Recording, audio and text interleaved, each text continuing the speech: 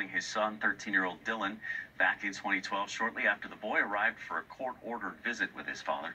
A judge declared a mistrial back in March because of high COVID-19 rates. The judge says that prevented a fair trial from happening. Dylan's remains were found in 2013 and in 2015 within 10 miles of Redwine's home near Vallecito Reservoir, northeast of Durango. Okay.